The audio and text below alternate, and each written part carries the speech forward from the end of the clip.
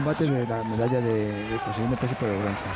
La- la Eso es, pues ahí estuvo, superó la primera ronda, luego la segunda se enfrentó al estonio eh, Marmeljuk, ganó por Ipón y, y luego en el siguiente combate, la siguiente ronda, ojo, precisamente, eh, precisamente ante uno de los finalistas, el coreano Sí, sí. Kwak. Cayó y bueno, pues ganó dos, ma- marcó dos yucos, ¿no? Dos puntos el asiático. Así las cosas, ahí tenemos con el judogi azul a a el ruso Denisov y Mono Blanco. Medio minuto ya de esta final por los 90 kilos. Ruso con un agarre muy potente. Además es zurdo.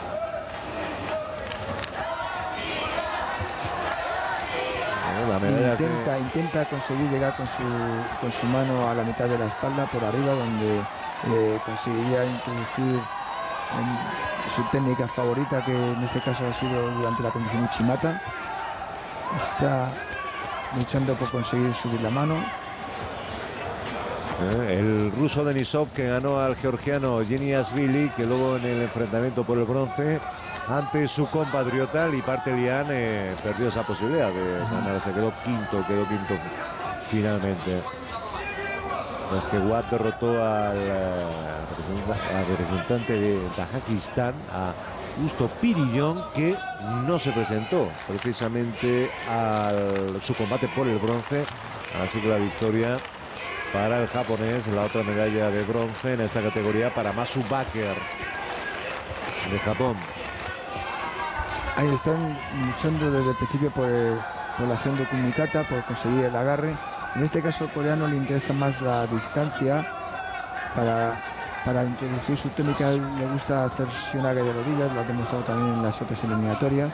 Entonces, está muy, muy, muy, muy cuerpo a cuerpo con, con el ruso. Eh, vigilando el coreano ahí los agarres. El tiempo transcurre. Más de dos minutos. Y es una lucha por el kumikata, ¿eh? es una lucha por, por el agarre. De momento ya ha cogido las dos mangas, Sí. le controla la manga para que no pueda subir. Tú fíjate que es lo primero que hace, cogerle la manga para que eh, no pueda subir el agarre. A ver, mate. Y a ver qué decide él. Sí. Ya está, pues eh, sido para ambos. Sí, porque están, están luchando los dos el Kumikata mucho, pero no, no hay un agarre muy efectivo. ¿Has visto? Eso es. Ah, Continúa esa, esa pugna. Está en juego el oro. No cualquier cosa en este campeonato del mundo. Intenta llevar ahí la iniciativa. Tiene el agarre arriba, fíjate cuando Sí. consigue el agarre como el coreano se separa, se lo rompe.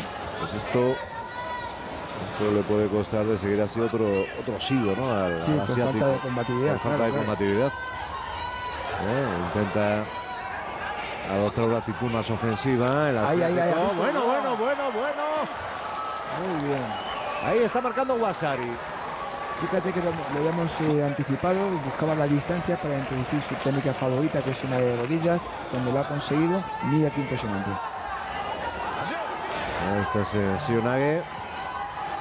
Esa proyección técnica de brazo, de hombro, bueno, suficiente de momento. Wack con ese Wasari se pone claramente en ventaja, pero todavía mucho tiempo por delante, un minuto y medio.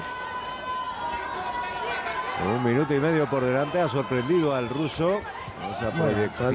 eh, queda mucho tiempo, pero ya, bueno, pues uno encara. Uno encara lo que queda, en este caso Wack, ¿no? el eh, hombre que Hombre. ganó eh, en tercera ronda, en octavos, ¿no? la ronda de octavos de final, a David Ruiz. Sí.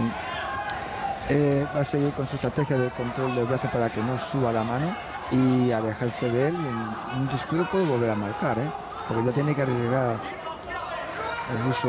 No, sí, no, no le queda otro camino, mientras que Wack puede jugar con, eh, con el Kumikata, con el agarre, todavía tiene margen en el capítulo de sanciones. ¿sí? Así que toda la ventaja es eh, ahora mismo para Wack. Le basta con eludir el agarre del ruso, Sí, está, básicamente. eh, eh, no dejarse controlar, porque claro, si la agarra por arriba y le controla, suena que es difícil de ejecutar. Entonces, tiene que mantener la distancia, no permitir que esa mano llegue. ¿no? Mate para medio minuto, a ver. Es- sí.